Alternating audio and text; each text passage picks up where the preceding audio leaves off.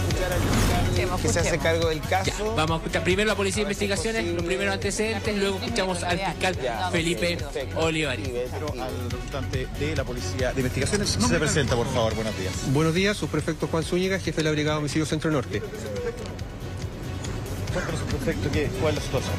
Bueno, la Policía de Investigaciones se encuentra realizando el trabajo científico-técnico del sitio de suceso, reconocimiento de indicios, levantamiento de evidencia, con la finalidad de poder establecer los hechos que ocurrieron acá a nuestra espalda, que dicen relación con una persona fallecida por arma de fuego. Esto en el contexto eh, de un carabinero se percata que cuatro o cinco sujetos aproximadamente estarían asaltando con arma de fuego a una persona de sexo femenino, eh, quienes eh, habrían intimidado a este funcionario de carabineros, quien extrae su arma y efectúa disparo al ver en peligro su integridad física, resultando uno de estos sujetos fallecido en el lugar. ¿Fue amenazado entonces?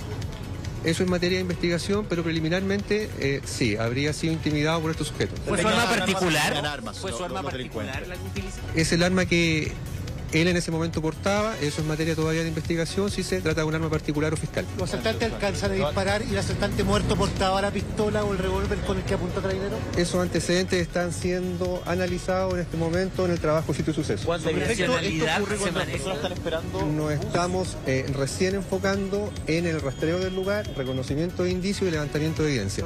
Los hechos habrían ocurrido así. Está una persona ahí en el paradero, le intentan asaltar, llega el funcionario de civil y se identifica y actúa. Es una persona efectivamente que venía circulando por el sector, venía a tomar locomoción y es asaltada por alrededor de cuatro o cinco sujetos. El- Sería una, sería banda que se dedica Es al una robo en paraderos. y el resto.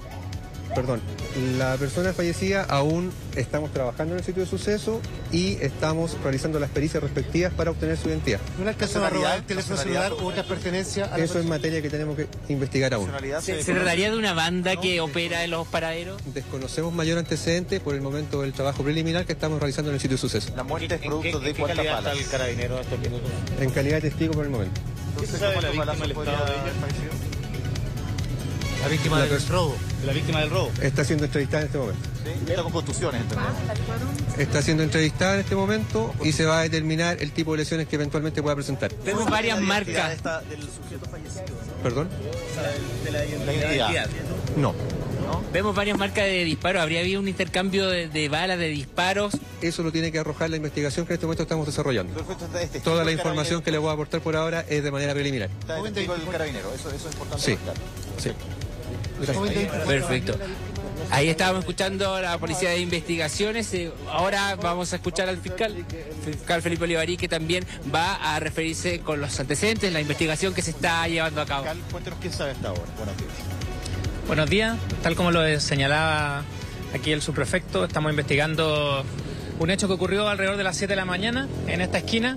Eh, una víctima mujer fue asaltada por un grupo de 4 a 5 sujetos, Eh, la intimidan con armas de fuego y le sustraen su teléfono celular, le intentan sustraer otras pertenencias, la golpean, la, la arrojan al piso y es en esas circunstancias que interviene un funcionario policial que iba camino a su trabajo y con su armamento particular, eh, al verse, en lo que señala él, al verse apuntado con armas de fuego, es que procede a disparar en contra de estos asaltantes y finalmente, lamentablemente, termina uno de ellos fallecido. Eso es lo que estamos investigando hasta ahora. Está el personal de la Brigada de Homicidio Centro Norte junto con personal de la CRIM para efectos de periciar el sitio del suceso, eh, entrevistar tanto al funcionario policial como a la víctima del robo, eh, otros testigos que pudieran haber observado la dinámica de lo que ocurrió ver cámaras y todo lo que en el fondo nos lleve a determinar con certeza qué fue lo que ocurrió acá. ¿Hubo intercambio de disparos fiscal?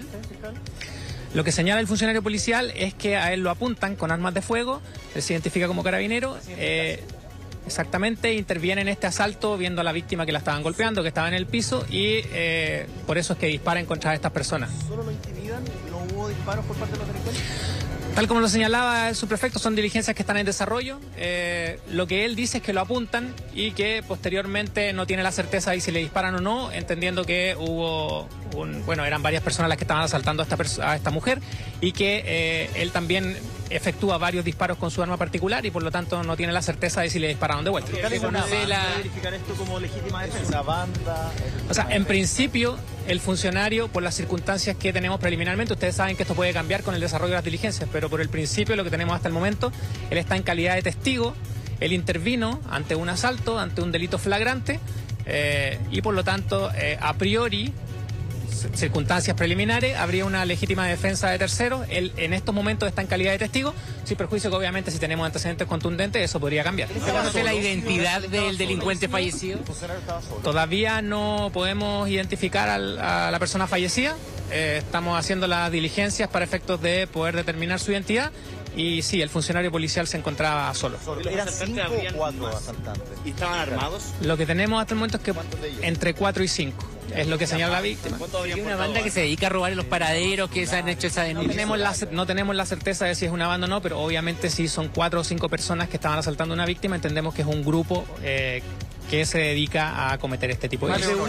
con armas de fuego. para las siete de la mañana, Aparentemente. Son diligencias que están en desarrollo y tendremos que determinar si efectivamente había uno o más con armas de fuego. Lo que sí señala el funcionario policial es que él ve que lo apuntan con un arma de fuego y, y que apuntan también a otras personas que se encontraban en el paradero y es por eso que él interviene. Los demás integrantes de Esto fue un cuarto para las 7. Son la víctima, ¿cierto? Sí, efectivamente a él, le- a él le sustraen el teléfono, ce- a ella le sustraen el teléfono celular con el que con el que andaba y no se recupera. Bueno, Ahí El fiscal estaba confirmando, muchachos, entonces que el robo se concreta, que eh, la golpean en el suelo a la víctima, que sería una persona chilena de 24 años. Aún no se puede lograr identificar eh, a la persona fallecida, el delincuente que está muerto en este lugar, en el calle Los Salerces, y en donde se siguen realizando los trabajos por parte de la Policía de Investigaciones. Pendiente todavía la identidad de este hombre, todo apunta que sería efectivamente una banda. A ella le estaban pegando en el suelo, ah, logran concretar finalmente el robo, se dan a la fuga. Ella habla de cuatro a cinco personas.